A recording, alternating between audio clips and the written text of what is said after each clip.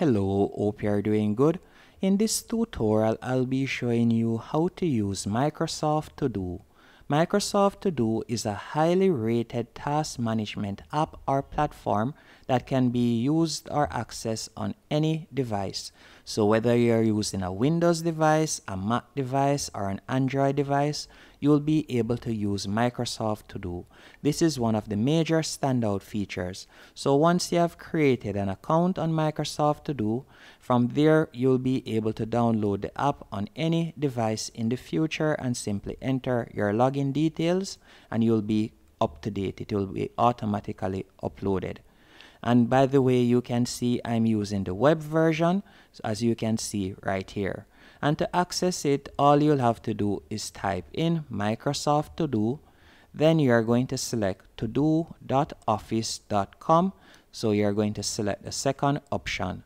Once you have done that you can create a Microsoft account by using your Gmail account if you don't have one already.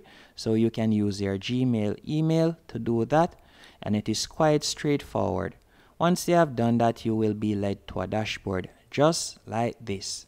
And the, some other standout features when it comes on to Microsoft To Do is you get access to all of the other Microsoft apps. So for example, if I were to tap on the envelope icon in the bottom left hand corner, you would see that it redirects me to Outlook as you can see right here. So you get access to the Outlook email, and you can also see the other Microsoft icons in the left hand column right here if you would like to use Word, Excel, PowerPoint or OneDrive you can get access to it right here from Microsoft To Do. So it is compiling all of the Microsoft apps for easy access. So you don't need to visit numerous platforms or have numerous tabs open up. So you can also integrate your calendar by simply tapping on the calendar icon in the bottom left hand corner and it will open up the Outlook calendar as you can see right here.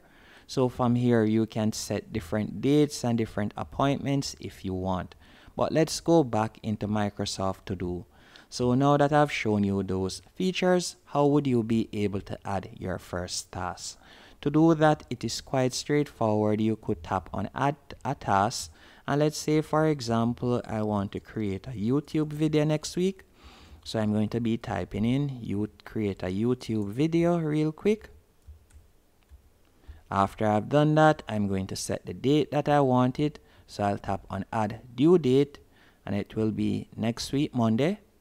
After you have done that, you can set a reminder if you want. So I'll tap on remind me I want to be reminded tomorrow. If you would like to pick the date that you would like to be reminded, you can do that. Then you can also tap on repeat.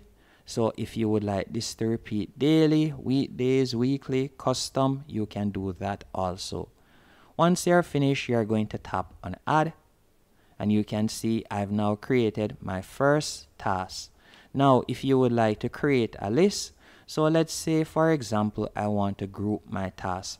So I would like that task to go under YouTube. I'll simply tap on new list from the left hand menu option and I'm going to type in YouTube then tap on enter. So that task has been placed under YouTube. Then you can tap on new list if you want. And another thing that you could also do if you would like to add more stuff to this task, you can simply tap on task from the left hand menu option then tap on the particular task and you're going to see a drop down menu on the right hand column on which you can add another step if you want. So you can add a second or third step if you want. And you can also see add to my day. You could do that. So you could do that right there. Remove from my day if you want. And you can also edit the due date as you can see right there you can also set up different categories. So you could tap on pick a category and you could create a new category. And you can also add a file if you want. So let's say for example you are going to be assigning this task to someone else. You could simply tap on add file or you could add a note. So you could add a note right here if you are planning to assign this task to someone else. Once you are finished let's hide that real quick now that you have done that, if you'd like to create a category, as I said earlier, you can see the different categories right there. And another thing that you could also do is tap on group then tap on categories. And from there you'll see the different categories. You can see uncategorize right there.